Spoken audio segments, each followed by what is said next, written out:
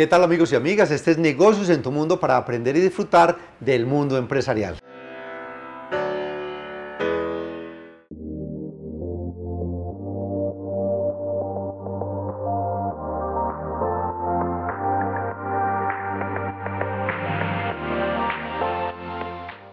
Negocios estamos con Oscar Cabrera Izquierdo, el presidente ejecutivo del BBVA para Colombia. Bienvenido a Negocios, qué bueno tenerlo acá. Ah, un placer, encantado, muchas gracias. Cuéntenos cómo hacer esa banca cada vez más cercana y sobre todo responsable cuando hablamos de un tema como educación financiera. ¿Qué hacer entonces y cómo lo viene haciendo BBVA?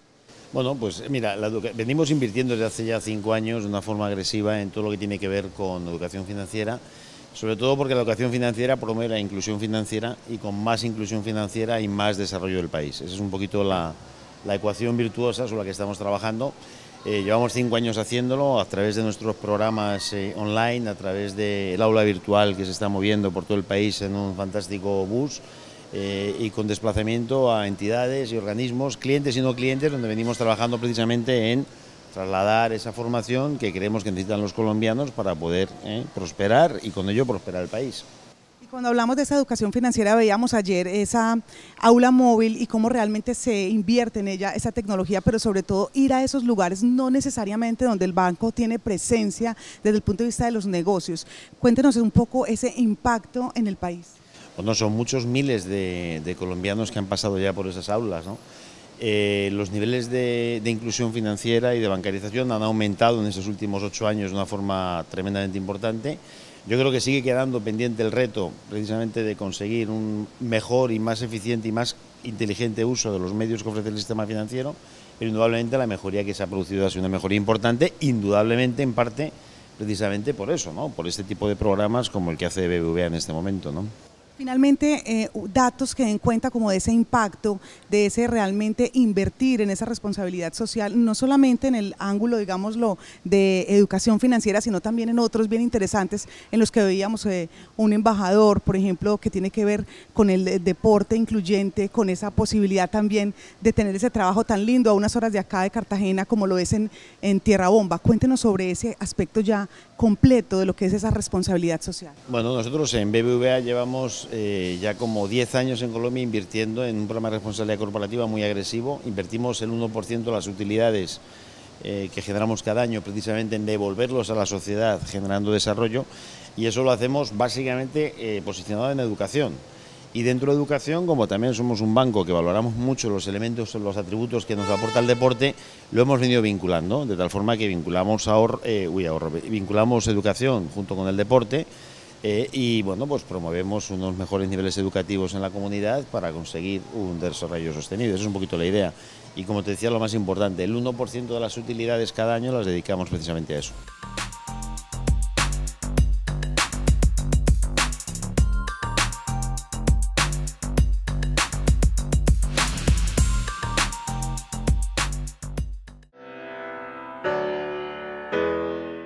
Y hoy en Negocios en tu Mundo estamos con Duncan Wardle. Él fue durante muchísimos años vicepresidente de innovación en Disney y está con nosotros en Negocios en tu Mundo. Duncan, uh, welcome to Negocios en tu Mundo. And what are the main keys for innovation uh, about your experience? Um, I think the first is we were all a child once. but we've forgotten how to think like children. Children think very expansively. They're very imaginative, they play, they have no fear, no risk, they ask lots of questions, they're very curious. We forget that as we go through school and we uh, start our jobs. I don't expect people to be playful every minute of every day, but the more playful you are when you're trying to have big ideas, uh, the more big ideas you will have. So if I ask you, where are you and what are you doing when you have your big ideas, people will say, in the shower, bicycling, playing with my children, running, and so, but never at work. So the more playful you can be at the right time, the more ideas you can have. How can we eliminate the barriers? so one of the biggest the biggest barrier is time. And you hear people say, I don't have time to think. We don't give ourselves time to think. Even if you have to schedule time in your diary, to walk away from the office for half an hour, an hour, to give yourself time to think. People get their best ideas when they're jogging, when they're walking, when they're running. We heard it today. Give yourself time to think. Go and have breakfast with your employees once a month and just have a conversation, but not about work.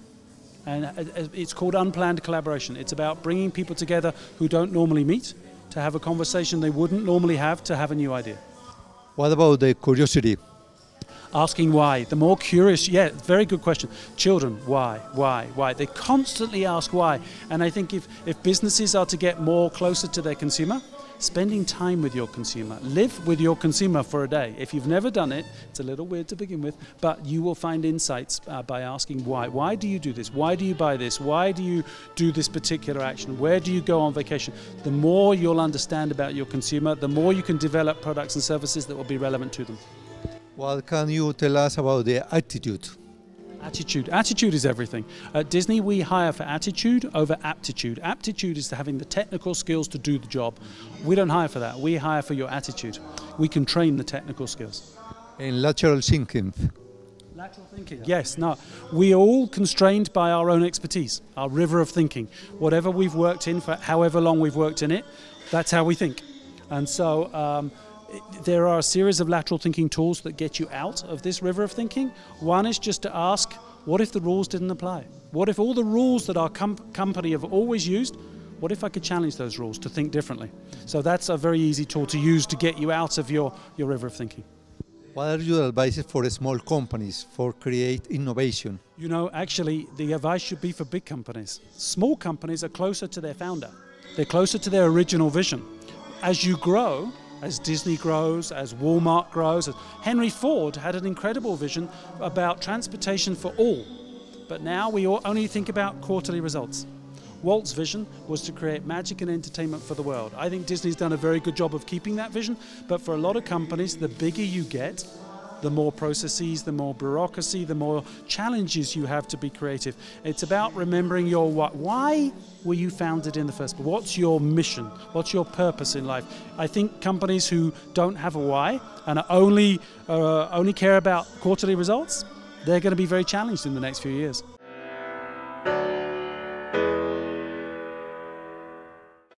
En Colombia quedará la fábrica de software de Conecta, una de las compañías BPO más grandes del mundo. Esta es una apuesta decidida por la investigación, el desarrollo y la innovación para agregar valor en su plan de expansión global. Este centro de innovación operará desde Medellín, Colombia, en el Distrito de Innovación Ruta N, exportando servicios de tecnología digital a España, Portugal, Reino Unido, Marruecos, Argentina, Chile, México, Perú y Brasil, los nueve países en los que tiene presencia actualmente esta compañía, además de Colombia, convirtiéndola en uno de los generadores más grandes de empleo del país. Somos una organización de más de 15.300 eh, personas con una vocación y con una entrega de soluciones que soportan todo el ciclo de vida del cliente. Soluciones que están eh, entregadas a distintas verticales, a la, bancaria, a la de salud, a la industrial, a la comercial, a la de seguros.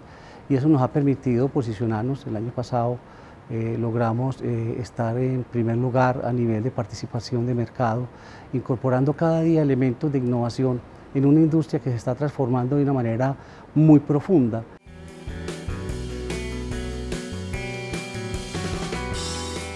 Evaluamos diferentes eh, ciudades para establecer el centro de desarrollo corporativo y finalmente nos decantamos por, por Medellín porque vimos que realmente había una apuesta clara por la, por la innovación. Eh, desde la alcaldía vimos muchas iniciativas para promocionar la idea y el concepto que nosotros estábamos buscando y lo trasladaban y lo plasmaban perfectamente en, Ruta N, un sitio donde el ecosistema de la innovación vive, donde el ecosistema de la innovación se traslada a cada una de las personas que aquí trabajan y donde realmente podíamos plasmar todos los proyectos tecnológicos que nuestra compañía en ese momento estaba y estamos buscando. Algo importante a destacar de, la estrategia que está teniendo el Grupo Conecta en este momento es que está integrando todos los marcos tecnológicos que tiene a nivel internacional para poder lograr unificar en, en una sola Software Factory la atención de todas las necesidades corporativas que se tienen de cada uno de los proyectos de desarrollo de software. Creo que lo estamos haciendo muy bien, en constante eh, contacto con el mercado y también con lo que nos piden nuestros clientes eh, a nivel de redes sociales, a nivel de omnicanalidad, a, nivel de integración total de nuestros productos que venían de eh, padres diferentes, pero ahora van a tener un marco común y creo que van a tener un impacto en el mercado muy fuerte, sobre todo porque son todos productos de desarrollo interno. Precisamente para promover la innovación, esta compañía realizó el Hack Day, una jornada de desafíos de retos de programación enfocados en la ciberseguridad en la gestión. Para nosotros, para Conecta, es muy importante que nuestros colaboradores trabajen día a día en su capacidad de innovación, porque la innovación está inmersa en todos los procesos de nuestra organización, no solamente en la parte tecnológica. Con este Hack Day lo que esperamos es encontrar talentos, darnos a conocer como fábrica, buscar ideas de, innovación que puedan aportar a, a nuestra fábrica nuevos retos. Es muy importante poder crear estos espacios porque nos da la posibilidad de mejorar en todo lo que hacemos, en todo lo que queremos ser en el futuro como desarrolladores, programadores, analistas de datos. La verdad me he sentido muy bien, muy entusiasmada, mi equipo de trabajo realmente ha sido muy equilibrado, nos hemos sabido dividir para poder eh, eh, trabajar en diferentes partes del proyecto. Eh, muy contenta de estar aquí y pues me parece muy bien hecho por la empresa. Lo que esperaba al venir hoy acá era aprender mucho y conocer mucha gente interesante y eso definitivamente lo estoy logrando.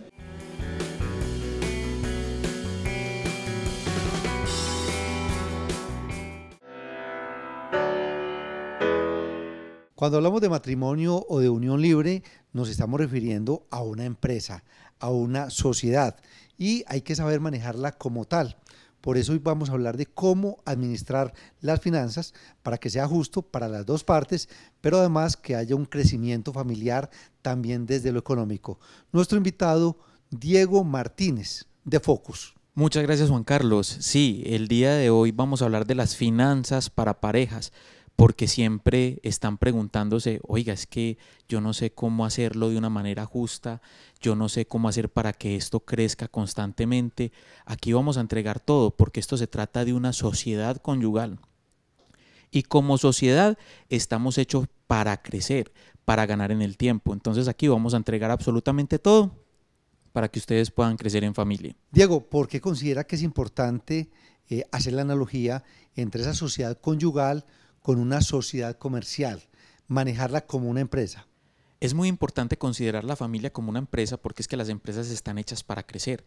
Lo mismo la familia. La familia está hecha para crecer y para ganar dinero en el tiempo. Entonces es importante que siempre consideremos esto como una sociedad comercial, que siempre estemos apuntándole a la visión de generar más ingresos, de mejorar siempre nuestro presupuesto de ingresos para tener una mayor utilidad en el tiempo.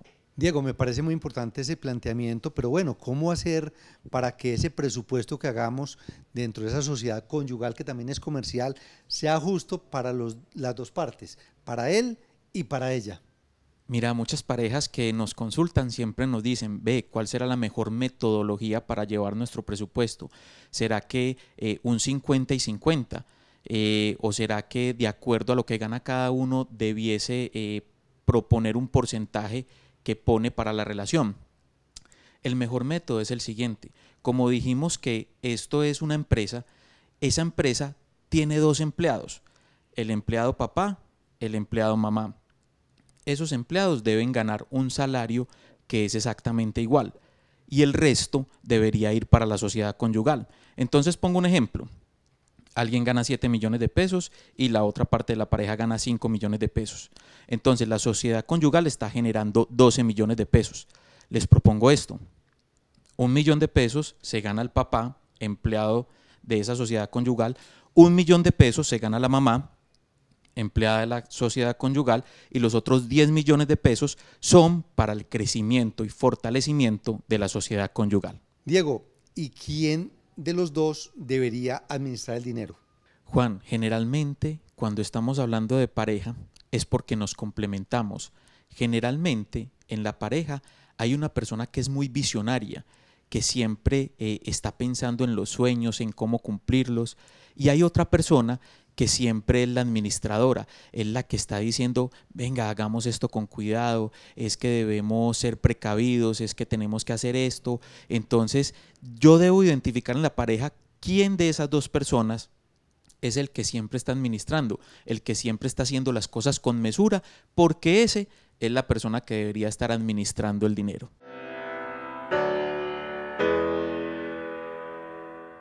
Cómo crear empresas que sean saludables y sostenibles y cómo convertirse en líder después de ser un jefe.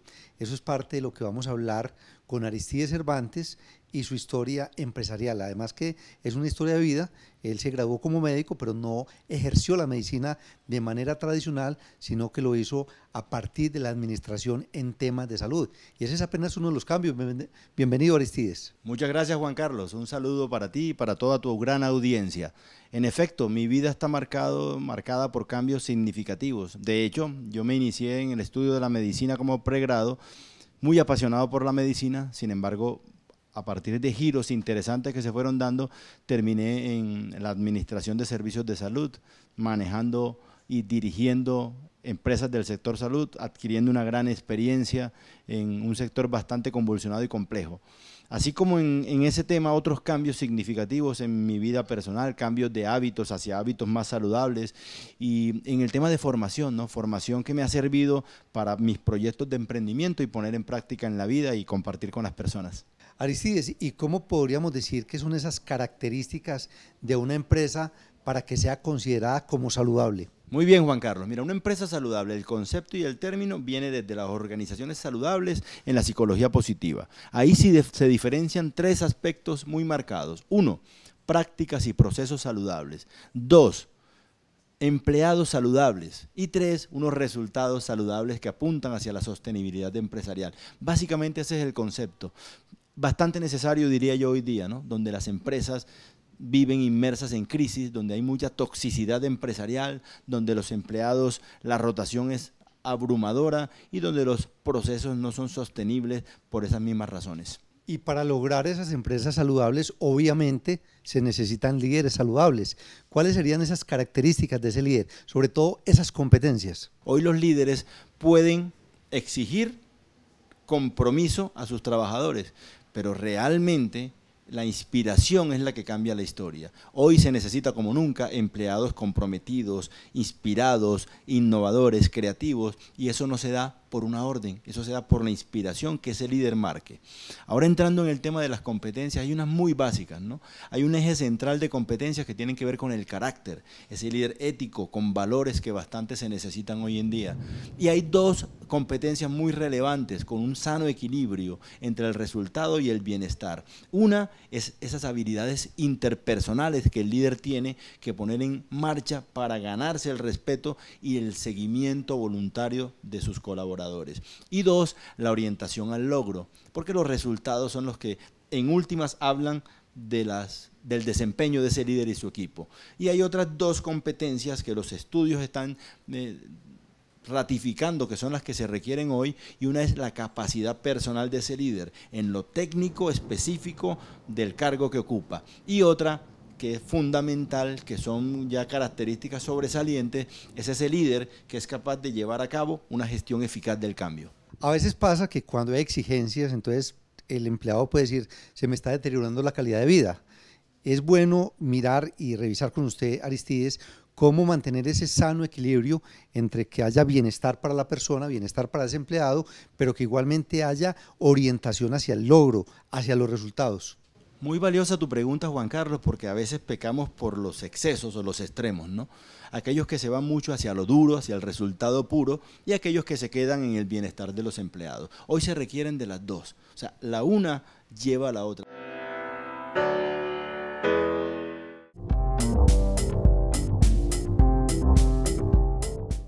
La Fundación Yolanda Turizo de Marín es una entidad sin ánimo de lucro dedicada a, a las personas en situación de discapacidad que presentan déficit de atención, retardo mental, síndrome de Down y algunos niños con parálisis cerebral.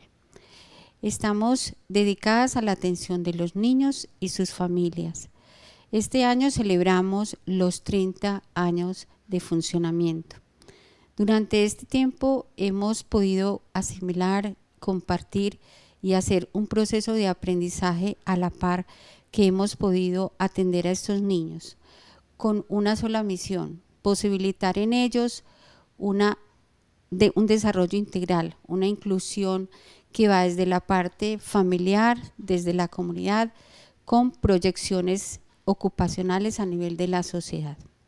Han sido muchísimos niños los que han tenido la fortuna y para nosotros también ha sido así de tenerlos en la fundación.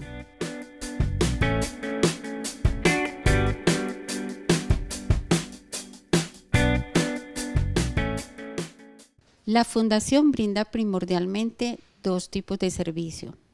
En una etapa inicial los niños inician un proceso de estimulación temprana donde lo que pretendemos es desarrollar sus habilidades para que puedan entrar a un proceso de inclusión escolar. Posteriormente hay un programa diseñado especialmente para apoyar este proceso de inclusión educativa, con una intervención terapéutica en la institución y posteriormente y a la par un acompañamiento a los padres y a los docentes que reciben estos niños en las instituciones educativas.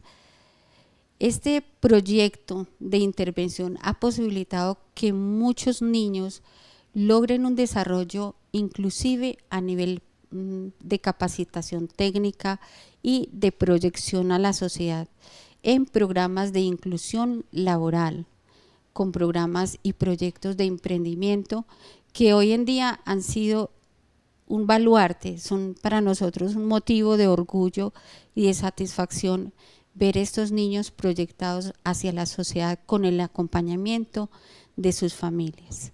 El lema de la institución es el milagro del amor.